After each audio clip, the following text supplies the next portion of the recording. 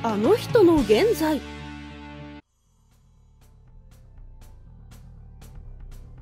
トランプマン現在になり正体が明るみに。日本でプロマジシャンとして活躍しているトランプマン。素顔や本名といったことが謎に包まれている方でもありますよね。そんなトランプマンの素顔が発覚？また気になる現在や正体についても迫ってみたいと思います。現在1990年代を代表する番組「なるほどザワールドに出演し一気に知名度を上げ人気マジシャンとなったトランプマン。約7年間もの間続いた番組も終了し以後ほとんどテレビで見かけることがなくなりましたね。そんなトランプマンですが現在どうされているのか調べてみました。すると本業であったマジック関連の事業を行う会社を設立されていました。その名も株式会社東京マジックでそちらの代表取締役社長として会社を経営されています。主な事業内容としましてはプロマジシャンの育成マジックグッズの販売マジックの DVD などを手掛けられています。ちなみにマジックの DVD に関しましては難しいものから簡単なものまで自分に合ったレベルを選べるようになっていますので初心者から上級者まで楽しむことができますよ。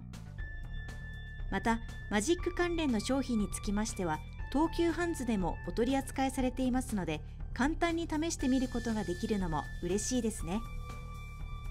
会社関連だけではなくトランプマンとしての活躍も続けられておりモノマネにも本人役でご出場されていたり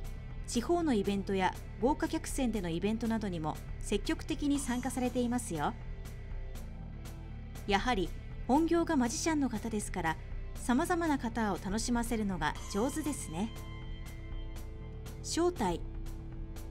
素顔や本名など謎に包まれているトランプマン。その正体は星野哲義さんであることが判明しました。星野哲義さんは1990年6月に放送された「なるほど・ザ・ワールド」でメジャーデビューを果たされます。もともとは同番組内で優勝者が海外旅行をかけた最後のゲームだけにご出演されていました。しかし容姿のインパクトさに加え無口というキャラクターから人気を博し冒頭の赤順決めゲームからエンディングまで番組内での出演回数が増えていきます。一躍有名人となったトランプマンですが番組終了とともにメディアへの出演機会が減りました。しかしその間もマジシャンとしての活動は続けられておりさまざまなイベントから有名人の誕生日会などでマジックを披露されています。さらにマジック関連の会社を設立し代表取締役社長からご本人名義でのマジック本なども発売されるなど多岐にわたってのご活躍をされていますちなみにマジックの本ですが分かりやすくかつ簡単ということでお子様にも人気なんだそうですよマジックができるとちょっとした自慢や特技にもなりますから読んでみるのもいいかもしれませんね。